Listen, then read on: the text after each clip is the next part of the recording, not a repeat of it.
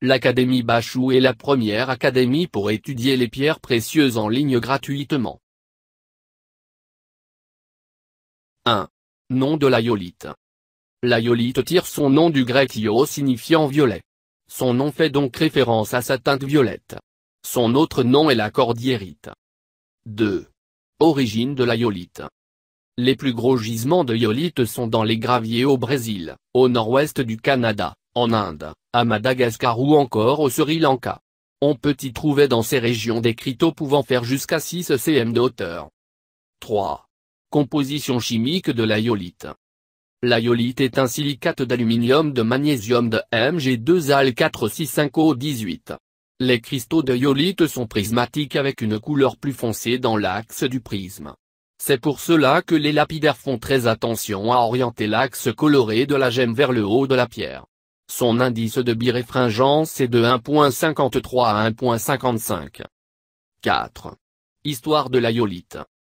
Selon les légendes scandinaves, les vikings utilisaient de très fines pièces de iolite, appelées alors la pierre magique, comme le premier filtre polarisant du monde. En regardant à travers ces lentilles de iolite, ils pouvaient déterminer la position du soleil lorsque le ciel était couvert, et faisaient ainsi naviguer leurs bateaux en toute sécurité. L'iolite a longtemps été réputée comme une pierre fine favorisant la clarté de la vision lorsqu'elle était portée comme une amulette on prête à l'aïolite le pouvoir de guider les marins perdus via l'éclat du soleil qui leur permettrait de retrouver le chemin de leur foyer. 5. Caractéristiques de l'aïolite.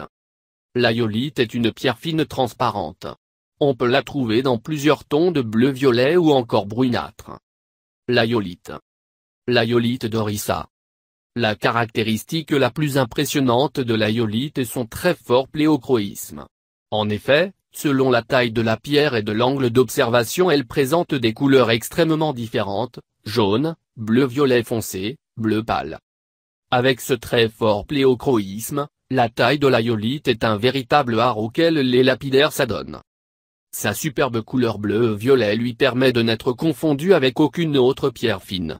Néanmoins, lorsque l'aïolite présente une teinte bleu pâle elle est souvent comparée au saphir ce qui lui a valu parfois le surnom de saphir d'eau. 6. Entretien des iolites.